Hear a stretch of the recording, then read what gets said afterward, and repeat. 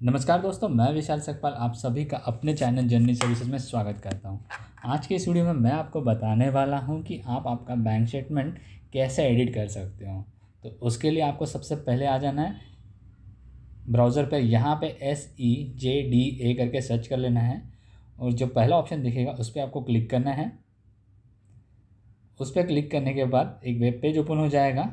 यहाँ पे आपको अपलोड पीडीएफ फ़ाइल अटैच करनी है।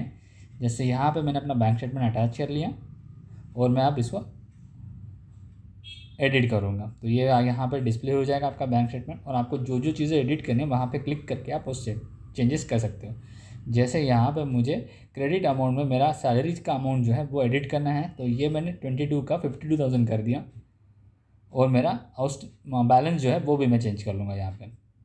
और उसी तरह डेबिट अमाउंट जो है मेरे नीचे वो भी मैं चेंज कर लूँगा। ताकि मेरा स्टेटमेंट जो है प्रॉपर लगे। तो यहाँ पे ये स्टेटमेंट प्रॉपर हो गया। आपको अगर और कुछ एडिट करना है तो आप कर सकते हो। या फिर अप्लाई चेंजेस वाले बटन पे क्लिक कर दीजिए। ये अप्लाई चेंजेस सेव हो जाएँगे।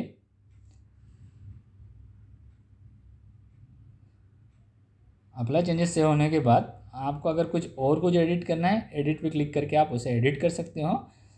मुझे कोई चेंजेस करने नहीं है तो मैं डाउनलोड पे क्लिक कर लूँगा और ये स्टेटमेंट डाउनलोड कर लूँगा। और स्टेटमेंट डाउनलोड कर, हो चुका है। अब मैं इसे ओपन करके एक बार देख लेता हूँ। तो ये देखें, जो मैंने चेंजेस किए थे, यहाँ पे प्रॉपर दिख रहे हैं। अगर आपको हमारा ये वीडियो पसंद आया तो वीडियो को लाइक करिए, हमारे चैनल को सब्सक्राइब कीजिए। Thank you have a nice day bye bye मिलते हैं अगले वीडियो में। तब तक ले टेक केयर